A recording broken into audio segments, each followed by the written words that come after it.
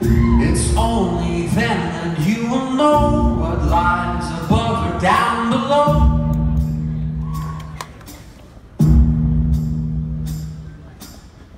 Or if these fictions only prove how much you've really got to